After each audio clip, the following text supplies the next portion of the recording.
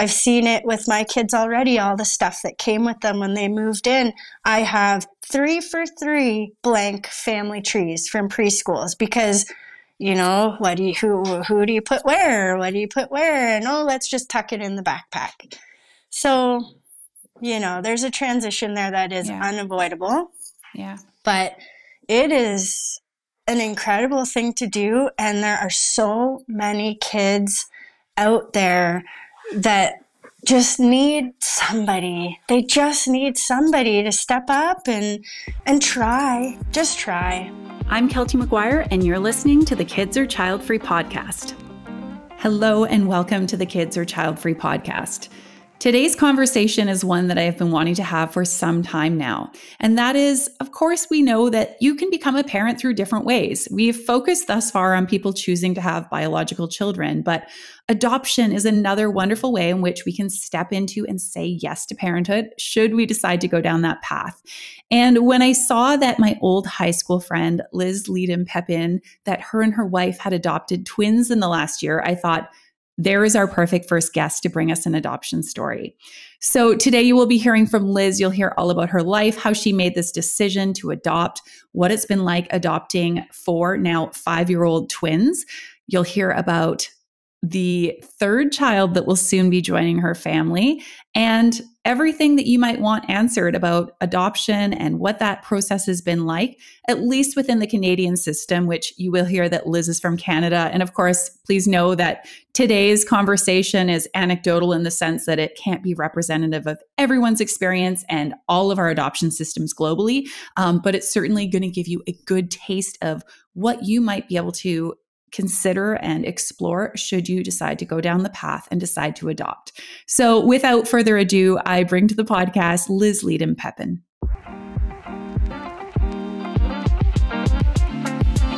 Liz, we will get right to it. Um, thank you so much for joining me. And I just want to tell you again that after connecting with you, reconnecting with you a few weeks ago, um, I, I just, I was in like the most brilliant mood. I was so happy that after and this is going to make us sound old, although we're not, right? no. After I think 24 years, you and I reconnected and I was overjoyed to see both like all the incredible things that you have done with your life. Of course, most recently and most notably now having adopted uh, we'll say almost three children, which we'll we'll hear about in a second. Um, but yeah, also just how you you have that same brilliant smile for people who are not watching the video. Liz just like radiates and emanates this beautiful joy um, that that is something that hasn't changed. So our, our conversation really warmed my heart. Uh, and yeah i went like right on instagram stories after. I was like i just connected reconnected with one of my high school friends. It was so beautiful and i'm going to bring her on the podcast. So um, all, all my ramblings aside i would love for you to tell our listeners just a little bit about yourself and then we'll get into your story yeah, of course. Well, first of all, thanks for having me. It's, you know, definitely a new thing for me, but quite exciting at the same time. Um, so yeah, me, I live with my wife Amelie in the South Okanagan in British Columbia in Canada. It's a pretty beautiful spot. True. Um, yes. Yeah, yeah, absolutely. Nice and hot in the summers. Um, yeah, I work as a nurse, registered nurse at a clinic, a community clinic. It kind of wears two hats. So Monday to Friday, we do. Um, we're basically a family doctor's office for people struggling with moderate to severe mental health and addictions problems. Um, and then after hours and weekends, we're like a step down emergency clinic. So it's kind of nice to do, you know, two very different things out of the same building. Um, yeah. So that's what I do for work. I've recently, like you said, been on an extended leave, mat leave. So it's been very weird not working. First time in my life. And yeah. I'm on the fence with whether I liked it or not. Like, obviously, I've loved getting to know my children.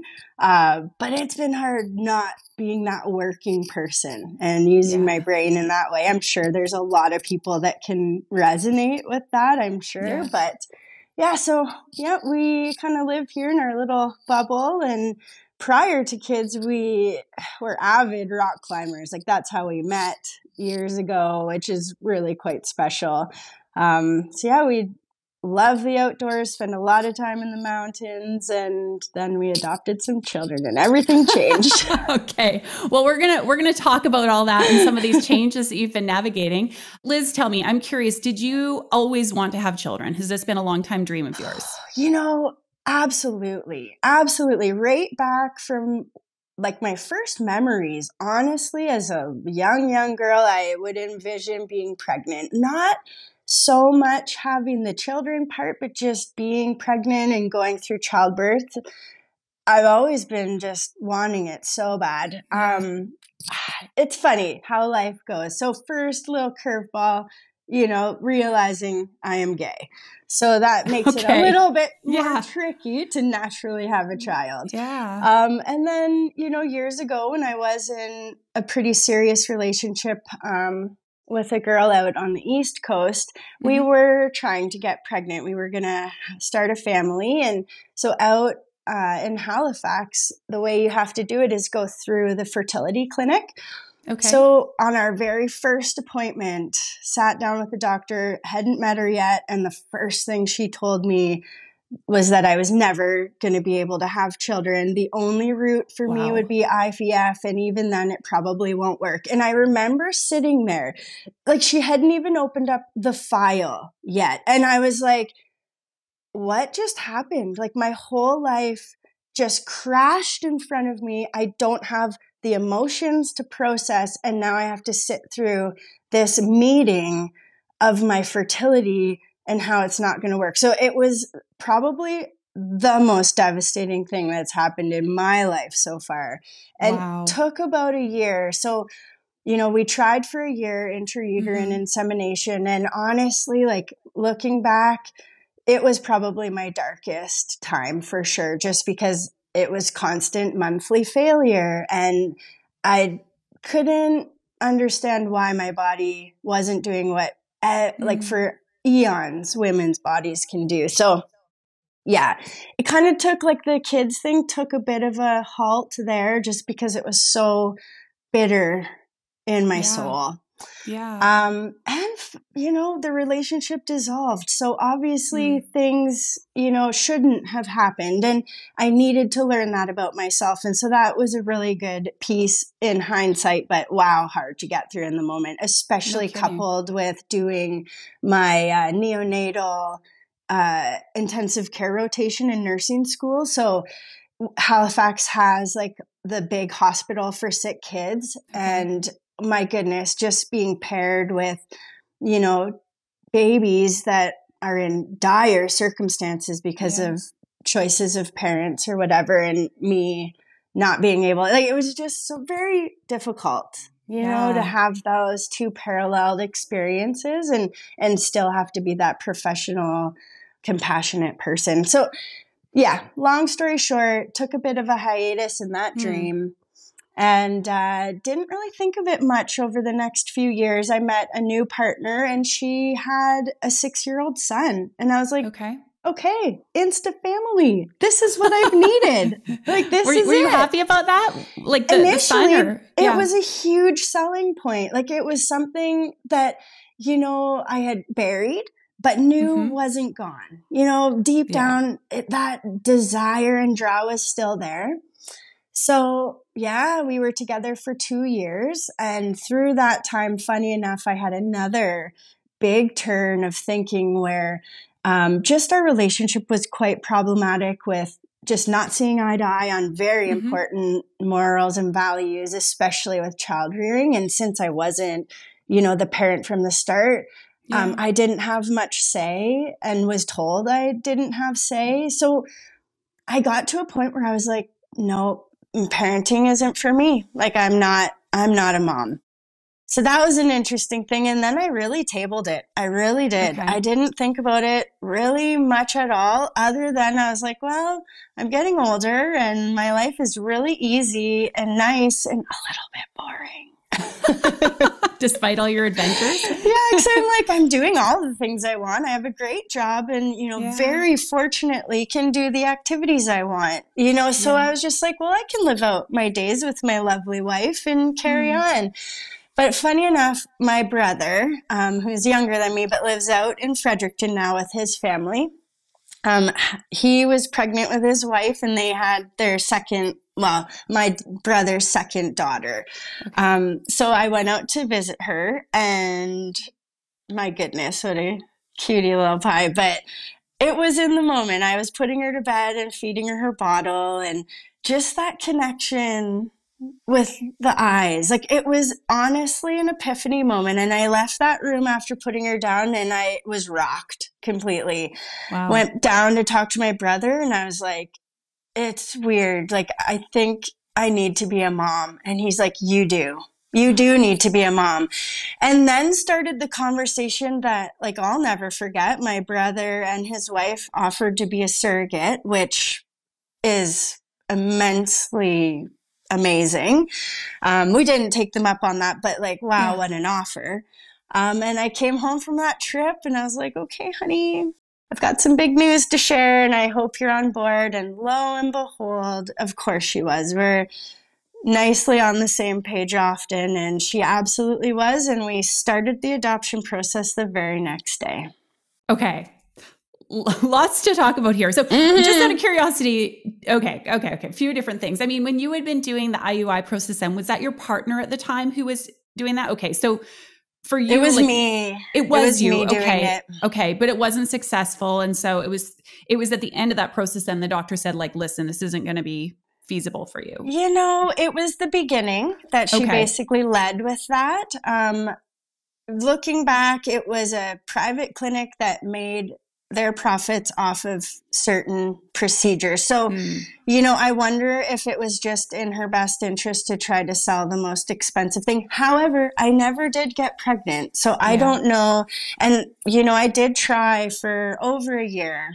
Yeah. So Okay. You know, there is something there, but yeah, yeah, it it was definitely me and right off the get-go I was told zero chance. Okay. Yeah, and I got the impression it was at the beginning, but I wanted to clarify because then you mm. mentioned like a year of treatments. Okay. And then so and I mean incredible that your brother and his wife were like we'll we'll do this with you um I'll, we'll we'll be surrogates for you. Had you even talked to your wife at that point or was that like an invitation that was made? Okay, so you don't even know if you're going to do this, but at, at this point, then it sounds like you personally had shelved the idea of kids. It was still in the back of your mind, but it felt like A, it wasn't something that would be possible, and B, it maybe wasn't even something that you wanted anymore.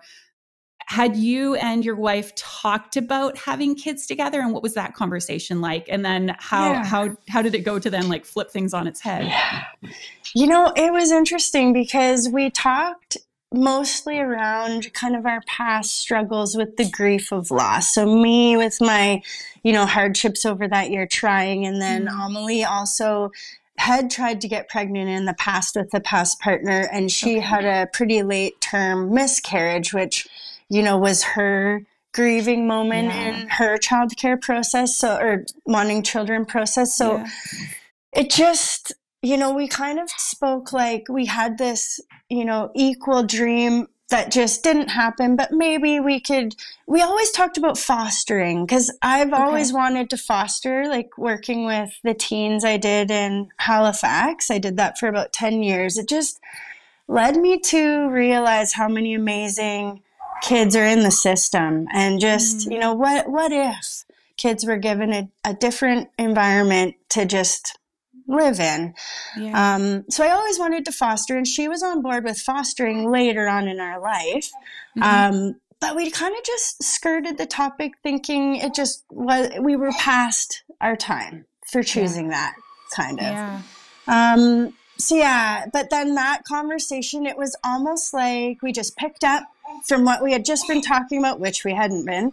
and we were both like on the same page. And she was like, yes. And even to the point where we wanted three. And I know that's going to be one of your questions later, but yeah. we did. We wanted three. Okay. Um, and even in our little kind of paper, um, we said we wanted three plus or minus one. So we could have taken four. We could have.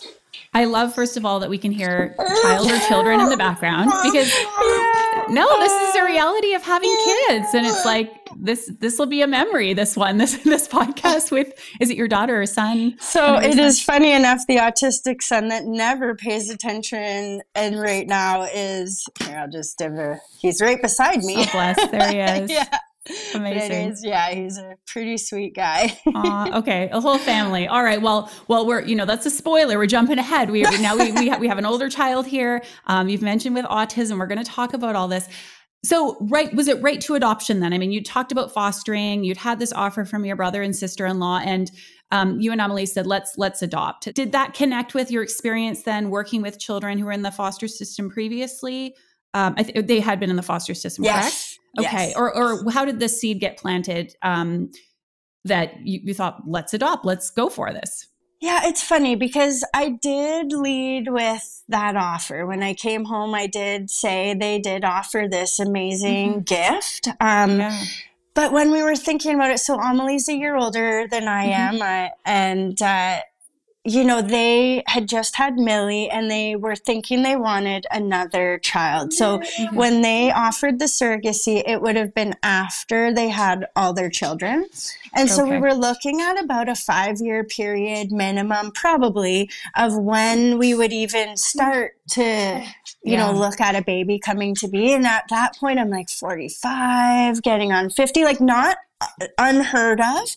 Yeah. But just for me, I was like, you know, I kind of would want to get this up and mm-hmm. running sooner rather than later yeah. just because like it's a lot and we're already over 40 which isn't bad but just is a thing yeah yeah and you'd had this epiphany moment i'm sure that is yeah. as well it was like you know and of course there's a lot of people who very much want a child and they have to wait or, or it may not be possible for them in the long term but to, to have this aha moment or this sort of soul awakening that this is something you really wanted to be able to then go adopt a child and as it will come to be three children um, you, you pursued that. Okay so uh, now first of all in, in, case you missed that liz is based in canada and so i just want to kind of offer the disclaimer that what we discussed in her experience is related to the canadian adoption system correct?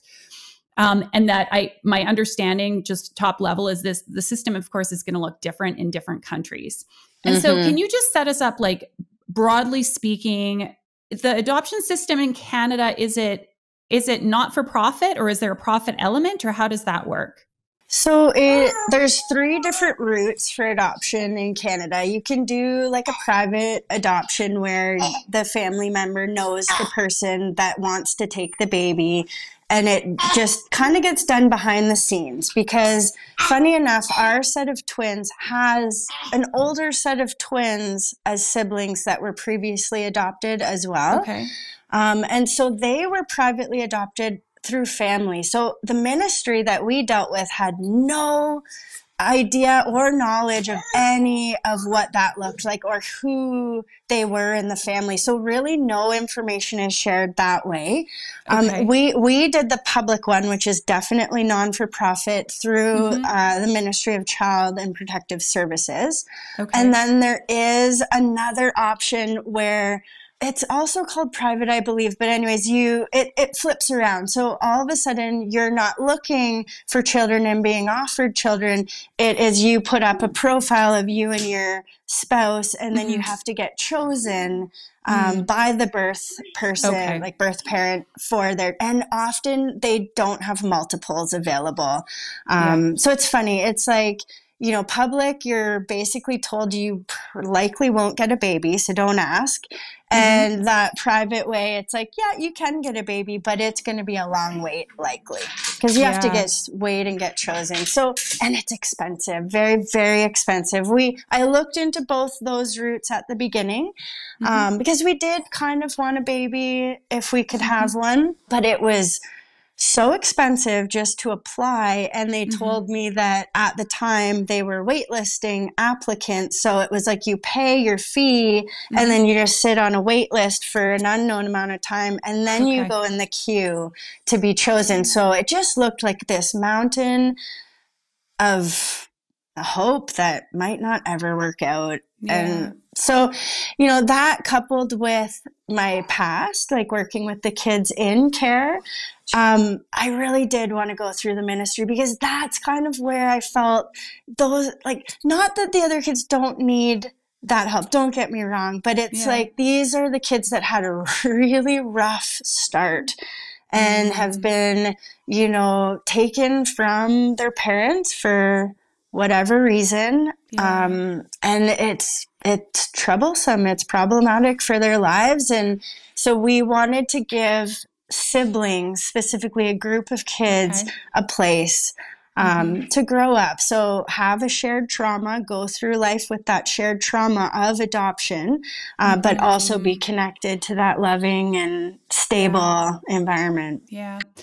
You know, you mentioning this this term trauma of adoption, I, something that's come on my radar in the last couple of years since doing this work, and I feel it probably shows my ignorance for not having formerly considered it. But I think we often, or you know, broadly speaking, consider adoption as like, oh, it's always this wonderful thing that like children are being given homes, that that couples or individuals can get babies. You know, it's kind of like they can go to the store and just pick out this child. And there is a lot of issues to be considering, especially, for example, and and please bear in mind listeners that i'm not an expert on this but if you're looking at like interracial adoptions of, of course cross-cultural adoptions like what are the implications for a child or children being raised in a home outside their primary culture or with a different racial background? Um, of course these children to your point uh, my understanding is that in a perfect scenario a child would stay with their birth parents or family that's sort of the the preference but of course that's not always possible. And i'm sure we'll talk a little bit about the scenario with your your own kids but what were some of the i guess ethical considerations that either you hadn't been previously aware of or maybe you became aware of through your experience working with kids in care? Yeah, that's a that's a good question for sure. And there's a lot of ethical stuff with adoption, especially like you said, going cross culturally. Mm. Um, that was one of the biggest things we talked about right off the bat with our whole adoption process. You have to do a big um, course. It's like multi months long. okay. Um, so they talked specifically about Indigenous people Mhm. here in BC because we were specific to our province. Yeah. And uh, just the statistics of Indigenous people in care, I, I want, I, I'm, it was well over 50%. I want to say 70, but I honestly can't remember Yeah. exactly. And I don't want to misspeak here, but um, a lot, most kids in care are Indigenous um, culturally. Yeah. And so, you know, I like you you do talk about how you're going to manage that if you get kids with a cultural background or even religious background that's Yeah, already instilled. Um, you do have to come up almost like the openness contracts, which we'll talk about. okay Um, it's almost like that where you have to come up with a plan of how you're going to help your child integrate into the community that they're from. So, it, you know, let's say we did adopt a child from one of the bands or what have you, we Mhm. would have to connect with that band and Mhm. make, you know, ourselves familiar and well, like hopefully be welcomed and and be a part of their community with our child in hopes to like give them that bridge of understanding of where they come from because it's such a huge piece for all children and i can't Yeah. imagine how much more significant it would be for culturally um, different children than Yeah. you know their caregivers yeah okay yeah it would be big. And I know with our last one here, like we're still going through the process, but his biological father was unknown. Um, and so it was interesting that way because the family finding that they do. It, they exhaust family finding on all sides that they can first. That's their first step. And so when they don't know the father, they kind of try to get hints or any kind of information. And so with us, we were told that he could have been American, like we're quite near the border. okay Um, and so because of that, we were looking at if they needed to do family finding across a border, it was going to be a minimum of two years of the ministry looking into that family to make sure nobody could take that child. okay So it is like family finding is the biggest step for them. A hundred percent takes a long time. Yeah. Okay. And so you mentioned something about an open contract. Does that refer to the nature of the adoption being open? And can you just explain a bit about what that entails? Sure. Yeah. So all adoptions um, in Canada are open adoptions now. They didn't used to be. You could choose, you know, mm-hmm. uh, but they are all open now. And at first, I was, you know, not taken aback um, because I, I do believe in openness. I do. But it, it right away was that hurdle that I was like, okay, well, we absolutely will be connected to birth families no matter yeah. the situation. So that was an interesting uh, little thing to swallow. Uh, yeah. But basically, it's it's quite benign. Like so, you do all the big paperwork and process, and then the, one of the last things you do is you go in for that openness contract write up. And so, when we went in as adoptive parents, the birth so so far only the twins' birth dad has signed an openness agreement. So he had to go into the ministry offices in his town, sit down with them, and then we had to come agree to it on our end mm-hmm. and sign. Everybody signed. So what ours looks like is uh, two in-person visits per year, and mm-hmm. then access to a private Facebook group where we upload okay. photos. Um. And like it's that's so easy to do, honestly. Yeah. Like two yeah. in-person visits a year. That's you know, as long as they're going well, yeah. um, you know, I have no problem with yeah. that. So, you know, even though it was a hard thing at the start, I think it's going to be so valuable um, when the kids get older and and start to really wonder, you know, their roots and yeah. how important. Because going back to the little six year old that I was kind of stepmom with for a bit, that was one of the biggest clashes that we had was he didn't know where he came from and he always asked he was always mm. asking me who his dad was where where his dad lived and he didn't even know that he was like a sperm donor child like he had no okay. clue um, and his mom didn't want him to know so that was really hard and at six years old i could see that desire to know. So I can't yeah. imagine at 17, 16, when you're really going through it, trying yeah. to figure out who you are as a human, you know, th- that's an important piece, who, where you yeah. came from. Yeah. So openness is super important. Yeah, 100%. And, you know, it's interesting that you bring that up with a sperm donor because I have a guest who um, I think by the time this episode airs will have been on um, on the podcast. Her name's Katie Bryan, and she's a solo mom by choice. And she talked about, you know, when she first went through this process and used a sperm donor, that she really just saw it as like lending DNA, so to speak. But once she actually had her son, who is now three, she really understands the importance of even if this person does not play really any or a big role in a child's life, like they, there there is at least that opportunity that they could and might, and that it is it is more and that relationship you know even though it may be in some cases very short lived really just for example like at birth they're starting to realize it has some bearing and there there is you, you mentioned you know the trauma of adoption the trauma of being born to a person being raised by someone else or multiple someone else's which i know we we talked about beforehand like what it means for a child to then be in so many different homes especially leading up to adoption. So okay so so many different things in different directions we can go. I want to come back to you. So you decide to adopt. You say you thank you for sharing by the way a bit about like what that process looks like. For you individually like how long did it take then? And what what what did you have to do aside from this course in order to become like were you approved right away or was that a process to go through it's funny. It was well over two years, and in fact, we are still waiting for the finalized documents to come from the Supreme Court um, for the twins. So we were told it would be a six month residency period uh, once okay. they were placed, that we would test it all out. Social workers come out every month, make sure things are going well. Then at the six month part, they send the documents to the Supreme Court for, um, you know, justification and verification of the adoption.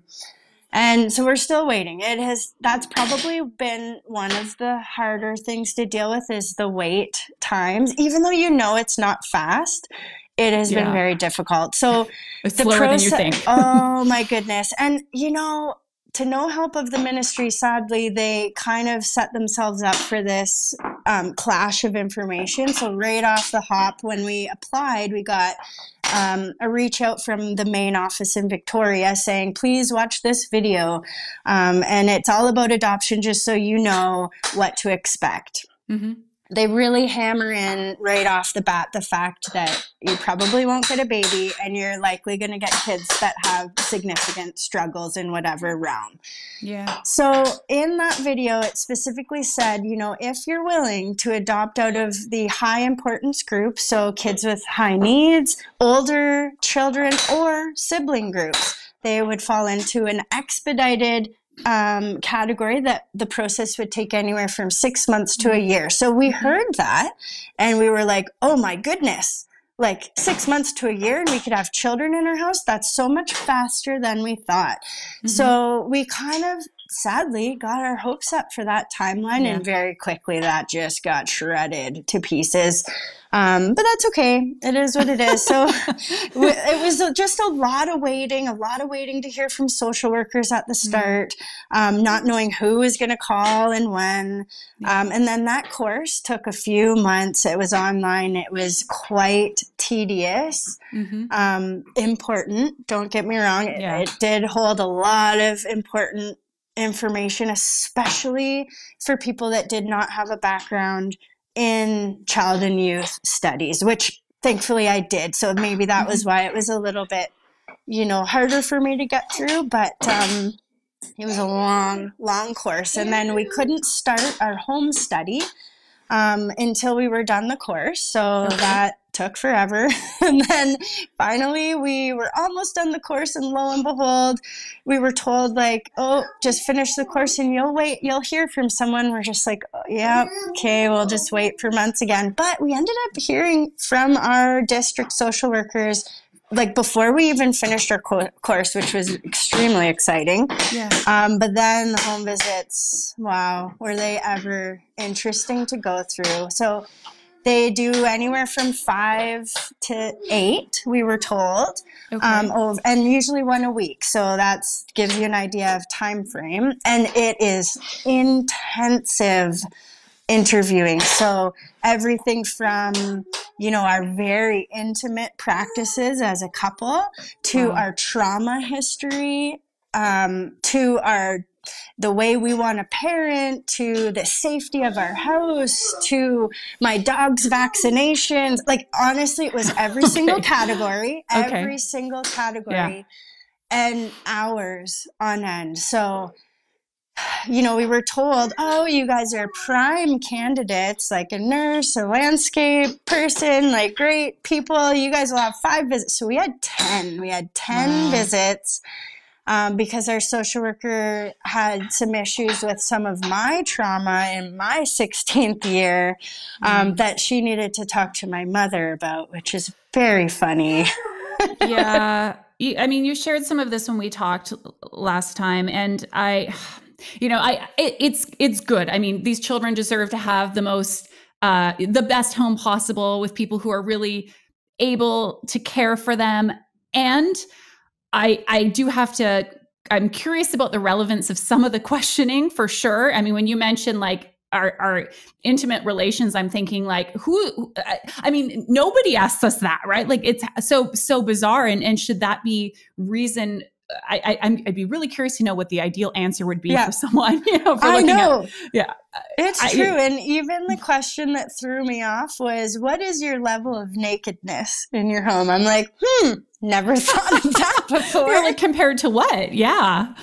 And I mean, of course, the irony is nobody asks birth parents any of these things, um, which you know, per- perhaps I sometimes have thought, and I'm sure you've thought as well. Sometimes maybe we we should have to go through like a readiness or preparedness sort of assessment before we're able to have our own uh, biological children. But yeah, I mean, when you talk about trauma in your 16th year and like how grueling that sort of assessment was, like we all have traumatic experiences, and of course in order to assess how those have impacted us and then to know that they wanted to talk with your mom which let's face it a lot of stuff I mean, I have a good relationship with my mom, but we don't necessarily talk about the ins and outs of my my past trauma, if you will. So yeah, crazy. Yeah. Okay. Yeah. Sorry, do you want to add anything to that? No, I, I agree fully. I, I when she said she had to speak with my mom, I was so taken aback. I was like, well, my mom didn't even know about the second one, so I don't yeah. know. Like, like she obviously knows now, yeah. and I have done lots of therapy. But yeah, it was just so funny and then I, you know, even advocating for myself. So my trauma was sexual assault times mm-hmm. two. And, you know, now currently I work as a forensic nurse. So I do the very intensive sexual assault exam. So I tried to advocate in the moment. Well, you know, if I was still triggered and yeah. traumatized by my own history, there's no way I could be an effective professional for people going through it in the moment. Yeah. Um, and, and in such an intensive exam. So mm. uh, you would think that would have been, you know, argument enough, but it was not. My mother had to be called, and I felt 16 once again. well, it's so bizarre. I mean, it's a little bit like um, I think about women who want to have. Um, oh gosh, sorry, I'm like losing, uh, like, you know, for example, their tubes tied to not be able to have kids. And it's like, oh, you know, does your husband know? And you need to have a authority from someone else. It's just like, it, it really, it shows this lack of trust in our own autonomy and independence. I think it's, it's almost, well, anyways, I mean, I won't digress, but okay. So, so how many years then was it until you no i just i don't think we mentioned this but like you've had the twins so your first two children for how many months now? Just since last spring correct uh, actually, last December. December, yeah. yeah. Funny I, enough, I turned 41 on December 6th, and December 7th they were placed. so it was, mama. Yeah, it was just like what an overshadowed, wonderful birthday present. Wow. Okay, so that that had been about two years then, or was it even longer by the time they came into your home? Oh, probably a year and a half. I want to say for like all that process, and then yeah, we're just should be getting that finalized document back within the next couple weeks, but okay, it was it was a long process. no kidding. Okay, so tell us about your kids. I mean, I, th- I think you've alluded to it, but you, have got twins, boy and girl yeah. twins. Tell us a little yeah. bit about the kids. Oh man, it's funny. So they I was at work one day, and so just an aside, part of you know your first steps when you get approved after your home study, now you can start looking at children and it's so weird there's you know not a very up to date but in a database that you can mm. scroll photos or not photos but just profiles and so i remember being at work and reading a very quick profile on this four year old set of twins and i was like weird. I feel a weird connection right now. Like I just felt weird. And in my head, I was like, did I just read the profile of my future children? And so this was quite early on, well before we were kind of ready to go. And so I asked our social worker about them, Amelie, and I asked about these twins specifically. And, and it led to months of being like, no, there there's already couples you know you shouldn't look at them. We have so much still to do you know get them out of your head. But it was weird. I couldn't we couldn't i dreamt of them. My coworkers dreamt of them. Like and it yeah it's the weirdest thing. Oh so when like I had a crazy dream and I won't get into it, but it was of a boy with blonde hair. And then my coworker came to work one day and she's like, I had a dream of a girl with fiery red hair. And lo and behold, our twins are exactly that. So Athena, goosebumps. Yeah, Athena has fiery red hair, and Aries. I don't know if you caught the glimpse of his very white blonde hair, but it just it was really weirdly meant to be right from the start. And so, yeah, lo and behold, we were ready to go, and they were available. Hmm, surprise, surprise. Yeah. Yeah. And so we we put in our this is another piece to adoption that is quite daunting and i could understand why people might want to like not go through past that point and probably why so many people had looked at these twins and not chosen them because basically you're given their medical files and their um, placement history. So for us it was for massive massive binders. These two twins were born extremely premature at 22 weeks and six days. Now, when I learned that, I looked it up, and at that time, they they were only three days away from the world record of earliest surviving twins. Like it just blew my mind at that alone, how early they were born, and that they both survived. It's it's incredible. I mean, you and I talked about this when we spoke the other week and like my nephew was born at I think 26 and a half 27 weeks and I feel like they had said at the time being born earlier than I think it's either 26 or 25 weeks there's very low likelihood of survival or if so then not without severe complications. So okay, so true miracle babies they were born so early. Yeah. Yeah. And, and then okay. yeah, so basically um Athena had you know, surprisingly a clear slate on her development. She was developing typically and, you know, no real concerns. Aries, on the other hand, right off the bat. So he had physical deformities at birth. He has something called craniosynostosis with his head. His sutures kind of closed up way too early and mm-hmm. caused his brain to grow out the other, basically the other side where it was open. So he was misshapen. Um, so they knew right off the bat that he had medical issues.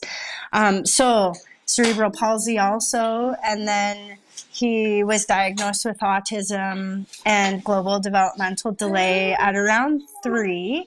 Um, so this is the thing I was getting to. Like, you get these binders, and what the process is is you have to read their medical history, take it to your family doctor, have it explained to you so you really understand what these diagnoses mean and how it could, you know, affect their future. Um, and then you sign off. And so when you sign off on accepting those children, that's you choosing them before you even see them in person, meet them at all, see any videos. Like we had seen nothing. We didn't even really know what they looked like. So that was intense. Like reading everything of such complication and such dire, you know, prognosis for him. He was told he was never going to walk um, with his cerebral palsy. Like it just, he was the the unlucky candidate in that twin duo for sure. So we know that for so many of us who are on the fence about this decision that we can grapple with it for a very long time. I was personally going back and forth on whether I wanted to have kids or stay child free for probably close to a decade by the time I really committed myself to making a decision. And when I reached that point, that decision making point where I realized that this answer is not magically going to appear and that it's something that we need to concretely, consciously decide, it was sort of this moment where it was like, enough is enough already. I am tired of going in circles. I'm tired of the pros and cons lists and hoping the answer will just show up. I'm tired of reading the books or talking about this ad nauseum or discussing it in therapy. And if you relate to this, if you are also at this sort of breaking point with your decision, if you're ready to finally make a decision about whether to have kids or stay child free, I want to invite you to join me for the fall session of my Kids or Childfree group coaching program. This is a three month long program, and we're going to be kicking off the next round in the middle of October. This is for those of you who are on the fence, you're trying to make a decision, nothing you've been doing has elicited a clear choice, and if you are ready to do something different, I want to invite you to join me as your guide to take you through this process and help you get clear on the right path for you among a group of like minded women who are also grappling with the same decision. I want to invite you to check out my Kids or Childfree group coaching program. Again, we kick things off in the middle of October, and I will link to the details in the show notes of today's episode, which you can also find the information about under the Work With Me tab over at kidsorchildfree.com. I, I'm super curious to ask, and I, I want to set this up sensitively, but a lot of women, you know, a big fear they have being on the fence when they think about having children. I think, and, and this is of course going to be for for most people, but you hope to have a child that is born. And and I want to be clear that the terms I'm using here, this is based on what we see as normative, and I I I want to be mindful about that. But you know, quote unquote healthy, developmentally normal, you know, not to have behavioral issues or challenges, and I have had many women and men say to me, you know, if I knew that I would have a child with any of these challenges, like I just, I don't know if I could do it. I don't think I'd want it. And I'm wondering for you, I mean, first of all, did you have reservations? And then second of all, how have you been able to knowingly, because when we when we birth our own biological child, we don't know. How did you knowingly say yes to taking on what amounts to I'm sure, major challenges for yourself, your wife, and of course for your son. Yeah. And the family. It, it honestly was a blind leap off a cliff situation. It was like, I, I don't know how this is going to go, if it's going to be something we can handle or not. But we did it. And, you know, going back to my history of working, like I thankfully had a lot of years working with kids with different developmental uh, disabilities. I definitely did a lot of work with autistic people mm-hmm. and then later with the teens in care. But so I, I, knew what those diagnoses meant and what they looked like in reality, even though mm-hmm. autism is just so diverse. Like you can meet four autistic people and they'll all be so different. Yeah. Yeah. But, you know, there were certain things that we were definitely okay with accepting. That's part of the whole home study part that we had to do was fill out multiple pages of tick boxes of disorders, diseases, history, behavior of what we would be willing to accept and what we wouldn't be which is a double edged sword because if you don't tick off a lot of boxes, they basically say there's no children for you. But if you do tick off a lot of boxes, you get all like all the kids with all the high needs. So it's like, oh boy, what do you do? But we I read his file and thankfully also I'm a nurse, so I have a really good medical knowledge to me. Mm-hmm.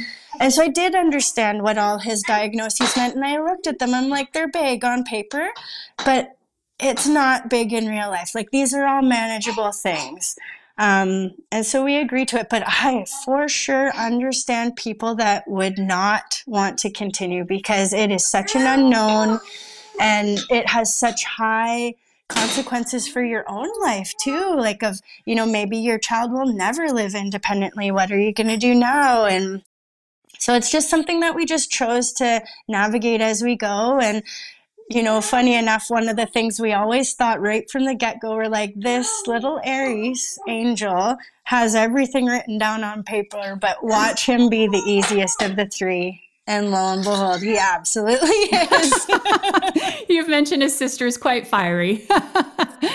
you know, in a great way. Like her personality is strong and independent. She already knows more than most adults, she says. yeah. Oh, I'm, I'm, sure she does. oh, and let's point out the fact. I mean, people don't know this listening, but I think if I'm not not mistaken, it's like what 6:07 in the morning there. Yes, um, it is. The other kids, I, I, maybe they're asleep or with your wife, but like you've got little Aries beside you, and he's been playing for the last 30, 40 minutes, very yeah. joyfully from the sounds of things on his own. Yeah. Yeah, he's a super happy guy. Very, like when we first got him, he didn't think he knew anybody was around animal item or person. Like no recognition of anything. He just spun things on the floor and pushed his basket around and made some noises. But i think it was a few months in i was like bathing him and he looked at me and i was like whoa whoa whoa. My soul just shook a little. I feel very seen like holy i okay, now I can't get away with things anymore. like you actually are looking at me and watching me.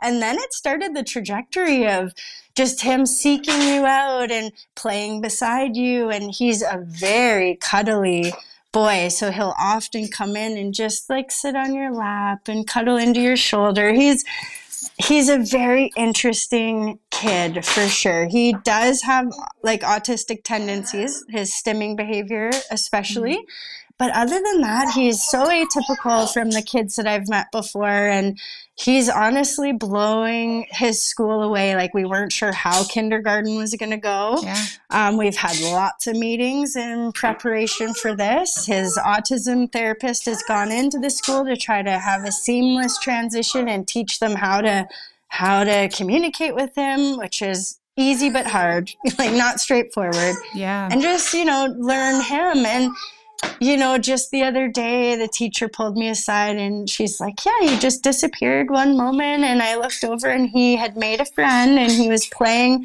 blocks, turn taking with this little friend for like 20 minutes. She said it brought a tear to their eyes. And we're just like, it, it's so wonderful watching him mm. progress because everything was so unknown that this is just like the highest icing layer on any cake possible.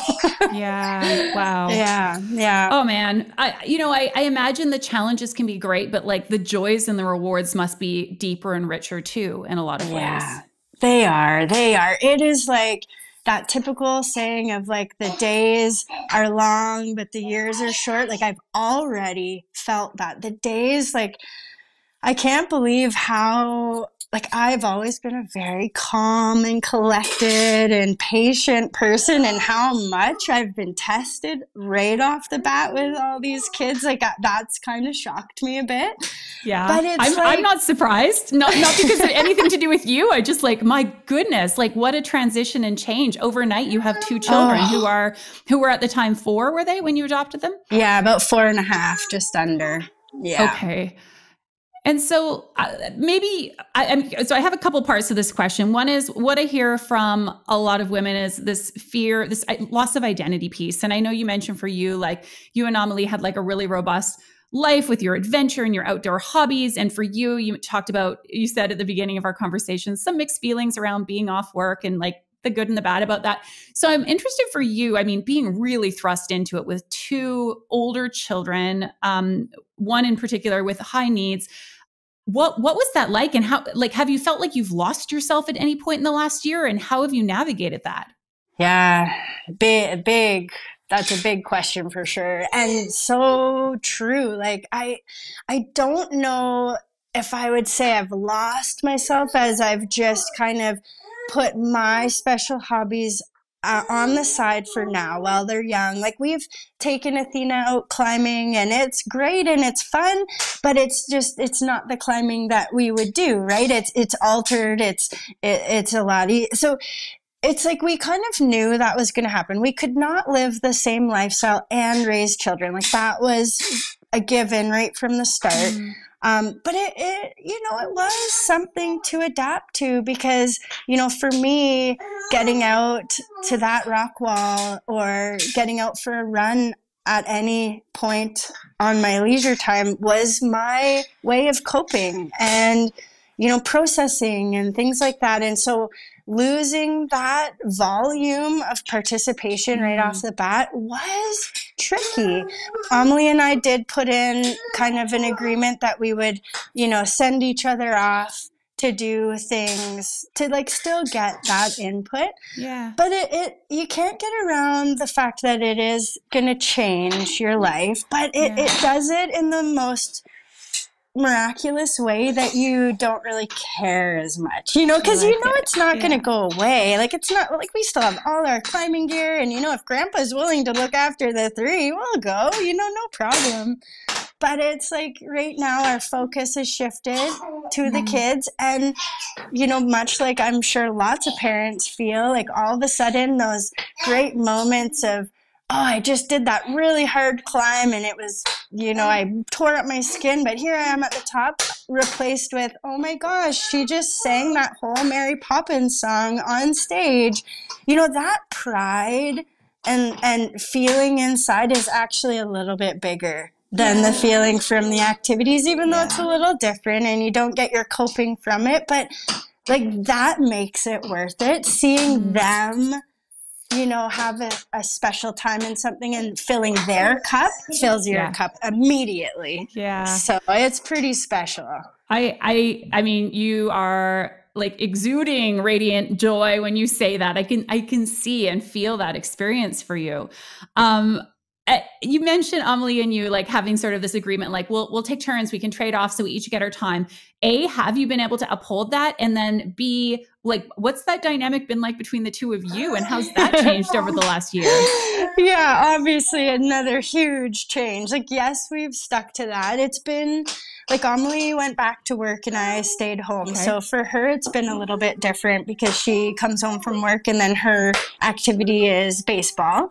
So, mm-hmm. like, that's easy. It's a set time. She goes out and does it and comes home. I have found it a little bit more difficult to peel myself away because I feel guilty. I feel mm. like, you know, I, I shouldn't leave the, you know, just like toss the kids to her and leave for two hours. But at the same time, when I do, I'm like, I shouldn't feel bad about this. Yeah. Like it's okay. But it's I think it's just my nature as yeah, well. Yeah, interesting. Even though you've been yeah. there the whole entire day, right? Yeah. And like this. yeah. yeah. So I'm ready for that run, but it's hard to get out there. Mm. Um, but she's been good at being like, no, mm, go. yeah, yeah, please go. Yeah. And and learning to parent together? Like has it i mean how long how long were the two of you together before you adopted the kids? Since 20 i'm looking at my little art piece back here mm-hmm. for date uh 2018 okay. So okay so a while now several years and has has it been easy parenting with her? Has it have there been butting head moments? Has it been both? What my goodness, this wife of mine, I can't believe we found each other in life. I'm so happy because we have, on all those years, never butt heads on anything. We just very, knock on all the wood, easily go through our life together. So, switching to this extremely dynamic parenting role yeah. immediately was not hard um, with her. She is probably the only person I could have done this with. And, you know, other than the fact that we are now, you know, a bit of spouses in passing, because like it's so yeah. busy in the household yeah. and our alone time is from, you know, eight till nine at night. Like it's yeah. like it's it that part has changed for sure. But you know, the connection, you still feel it. So that's I think what's important to hold really true. Mm. Um, because it's so easy to get just caught up in that tidal wave of life and kids and yeah. schedules and you know problems yeah. that you're dealing with and so with her it's been not hard completely amazing we have a very interesting uh, like parenting style like she is kind of more of like the you know, stern talker if they need to, like the dad role. She's got eyebrows in play. and I like try, like, we kind of each have our role without mm. even trying. Yeah. That works just so well in tandem that it's, yeah, she's amazing.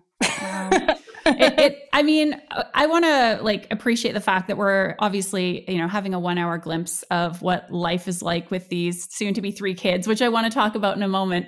Um, and, and you have three kids in the home right now, if I'm not mistaken. Um, but I mean, I just feel like these and I know I promised I wouldn't say this, but like, what a gift for these children to come into the home with you and Amelie, and that like it it all feels like things are unfolding in that perfect way for all of you and it's just such a beautiful thing to see and i i mean i just think wow amazing because sure what you're doing is not for everyone but it's for you and it's for these children and it's just wonderful yeah. Yeah. I feel very, very like strongly about your story. I hope everyone, I, am sure everyone will be very moved to hear about all of this. Um, it, this is, and, and today, by the way, like this is our first adoption story, which I'm sorry it's taken so long, but we certainly would love to, well, love to have more.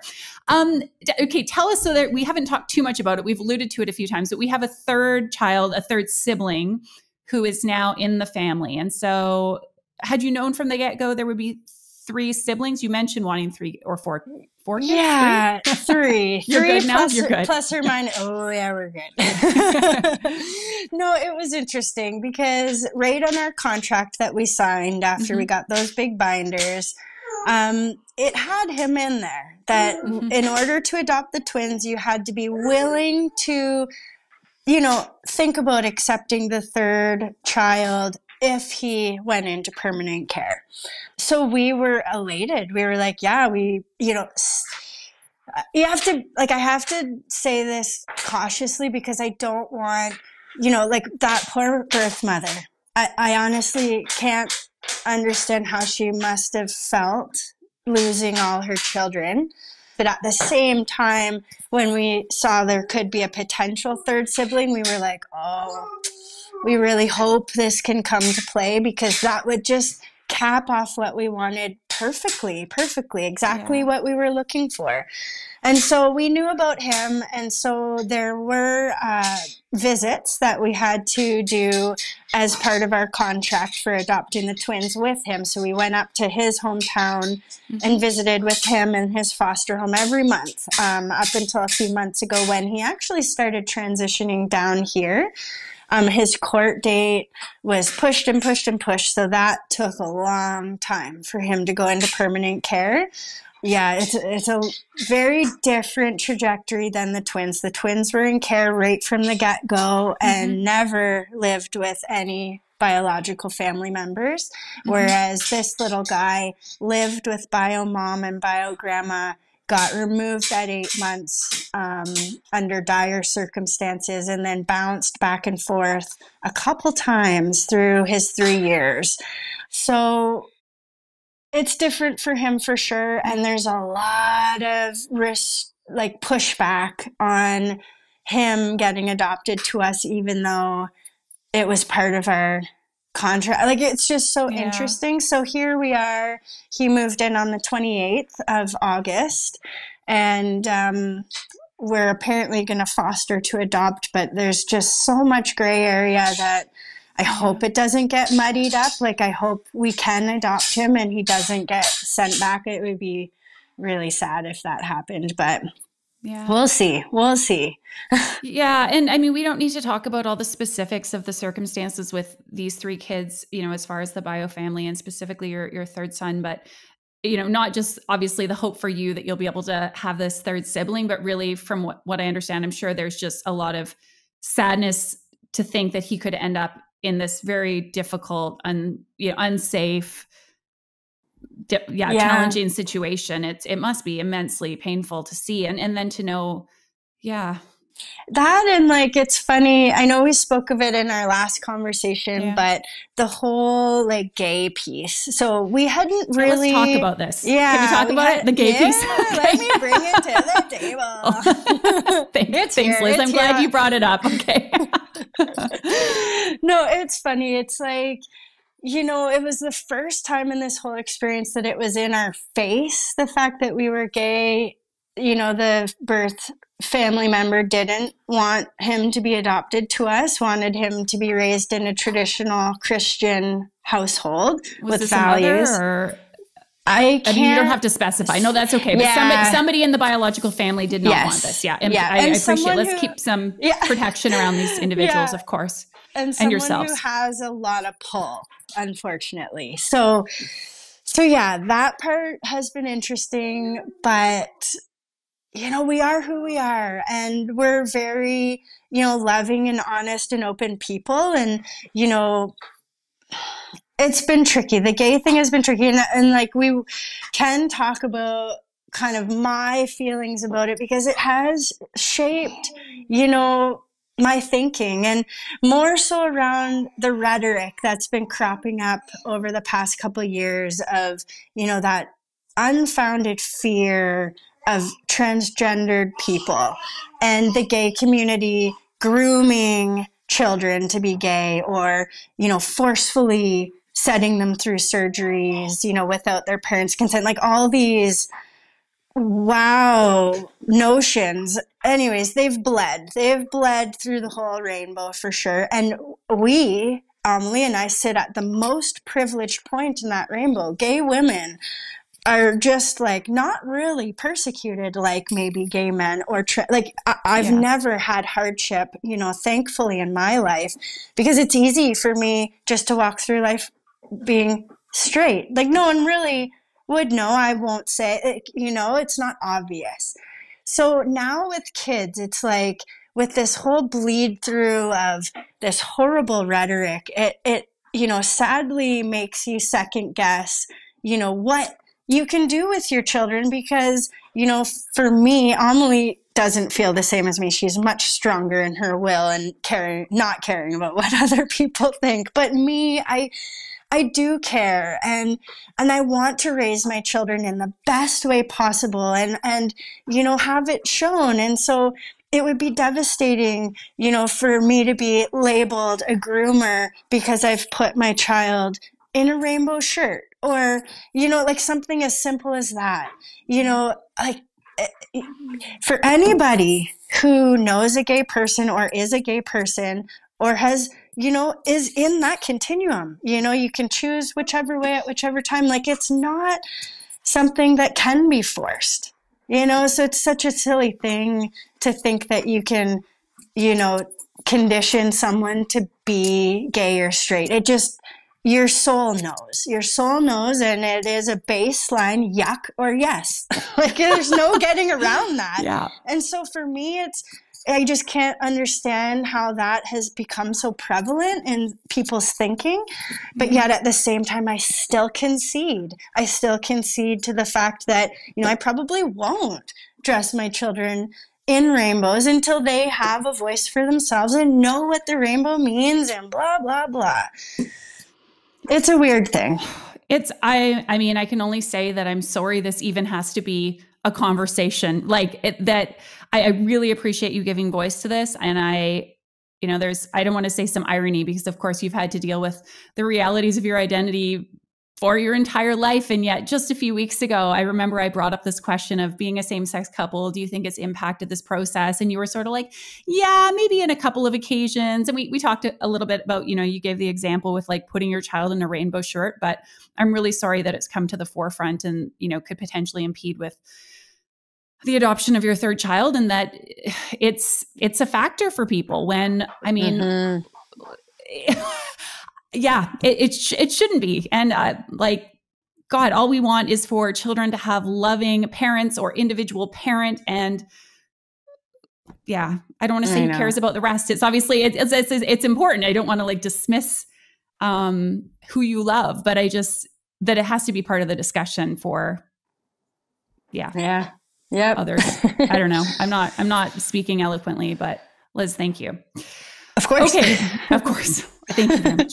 Um, okay, where do I want to go from here before we wrap up? I guess what I would love to know is what ha- well let me okay before we do that if somebody is thinking about adopting a child or children what do you think is a question or some questions or considerations they need to be asking or making yeah, so it depends which route you're willing to go or you want to go. Um, but honestly, if you do do public adoption, you do have to ask yourself those hard questions of, you know how will how would you feel if you got a child with high needs or a very behavioral child because you know sadly a lot of those kids have struggled in their life already just yeah. with how they've been brought into this world so yeah. it takes time to reroute you know behaviors and give a more stable place for any change to happen so that is you really have to be true to yourself there for sure. And then privately, you know, you know, you're looking at a lot of money. So if you're willing to to spend a lot of money, you're regardless, adoption will give you an amazing outcome. Whatever it looks like, if you go through it, you want it. Like there's no way someone would go through all these years of all the hurdles and then be like, you know, not for me. Like mm. that that is those are the people that want it are the yeah. ones that hold steady. So if you've asked yourself those questions and you've gone through all these steps, rest assured, it will unfold how you want it to eventually. With hardships, for sure, because transition in general, no matter if you get the best kid with zero issues, it's going to be hard. These poor children, like you said, don't know who their parents are. They don't have them. And how odd when you're going to preschool doing family trees. Like I've seen it with my kids already, all the stuff that came with them when they moved in. I have three for three blank family trees from preschools because you know what do you who who do you put where what do you put where and oh let's just tuck it in the backpack so you know there's a transition there that is yeah. unavoidable yeah but it is an incredible thing to do. And there are so many kids out there that just need somebody. They just need somebody to step up and and try. Just try. Yeah. Beautiful advice. I'd love to hear what has been the biggest joy in coming into motherhood. What have you loved most so far? Uh, The cuddles. Aww. Honestly, honestly. Cause like, you know, with all my years working, like sure, I've hugged a kid, like even though you're not supposed to, but being allowed and like and and and ugh, it's like really getting deep in there has been my best best best moments by far and and so like natural you know and it, it's just it fills you it fills you immediately right to all your heart cockles you know Aww. it's just this most special thing and yeah. so i'd say that's like my biggest love so far but i don't know just the future like the yeah. future has so much possibility for these kids and and I'm just like so overly excited to like within reason give them everything to yeah. see what they can do and what they yeah. love and where their passions lie especially aries because he can't talk and he's not going to tell you but you watch him and you're like wow you're very mechanically inclined. Like, where's that going to take you, little one? Like, nobody yeah. knows. And it's just the sky is the limit, which is like for me as a parent is so exciting. And, and I can't wait for the years to unfold to see, you know, how mm-hmm. these kids kind of unfold on their own into their little bouquet of flowers. I, adoption sounds like it's been just an incredible gift for you, Amelie, and for the three kids. So um, I can only wish you luck with the, the continuation of this process, with getting the I's dotted, the T's crossed, and hopefully, you know, having your your third child confidently, securely in your home. So, yeah, thanks. Okay, Liz, before we wrap up, I have five rapid fire questions I ask all my guests. Yeah. yeah. and I'm going to I'm going to put a little spin on them because of this being our first adoption story. So, the the first two are finish this sentence. The first one is being an adoptive mom is or a mom through adoption perhaps would be the better term. Fulfilling. Being a mom by adoption is not Easy. What is one tool or resource that you think might help people who are considering adoption to make this decision? You know, I think the best resource would be reaching out to someone who's gone through it themselves because it'll be hard to get straightforward information from any sort of government website. Yeah. um, and you know, everybody's experience is so different that I feel like if you can put a personal connection, you might learn a lot and then have some value to your own story as well. I, would say that's probably it, but there's a lot of resources out there, um, a lot of groups that, mm-hmm. you know, you can join in. Um, and it's all adoptive parents that may be waiting to adopt or have adopted yeah. or maybe adopted 10 years ago. So it's like you get all realms. We never kind of joined those groups, but they're out there and they're very valuable. So, like, all those tools would be useful. Okay, amazing. Uh, what is one thing that you would like child free by choice people to know?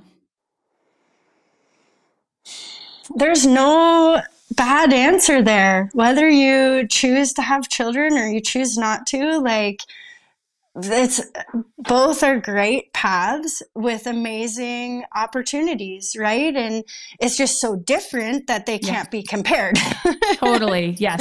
Yes. But wise honestly, words. Yeah, like the whole notion of having kids because I'm a woman and I have to that should never be the reason you have children ever ever ever because you will not get out what you want ever in that situation so if you don't have the desire, you should not do it. But, you know, even that inkling, if you got an inkling like I did for many of those years, you know, go through with it. It is, it is an amazing process and experience um, for your own self, right? Yeah. And, and especially adoption because you go from zero to hero within a day.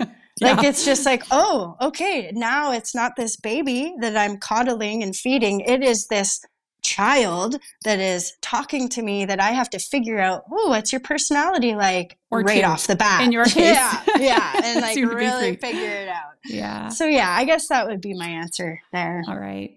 Okay. And lastly, if you could give one piece of advice to someone who's currently on the fence about whether or not to have kids, what would that advice be? Hmm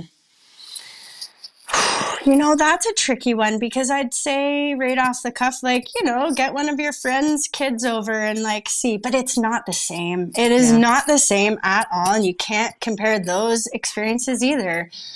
So I, I don't know. I, sit on the fence. Sit on the fence for as long as you need to because the fence isn't a bad place to be. You're considering you know you're you're on the fence for a reason. You're not done figuring it out yet. So just sit tight. Sit tight. Ponder. You'll figure it out Oh my God, I love it. Nobody has ever said just sit on the fence, hang out. I am here for it. That is awesome, Liz. Okay, that's a perfect way to, to wrap things up. Thank you so much for having this conversation to me. Um, it means a lot to me, and I know it definitely will mean a lot to our listeners. So thank you very much. Of course, and thanks again. It was a great chat. I loved it. Thank you for tuning in for this latest episode of the Kids or Childfree podcast. I hope you found that conversation insightful and valuable. And if you did, I have a special request to make. And that is, I would be so appreciative if you would go leave a review or a rating over on Apple Podcasts or leave us a rating on Spotify, both of which can be done via the Apple Podcast and the Spotify apps on your mobile device. If you go do that, that is going to be a huge help in helping the Kids or Childfree podcast get discovered by more listeners, more people like you who are on the fence seeking clarity with this decision. So hop on over. I mean, if you're listening on your device, you're probably there right now.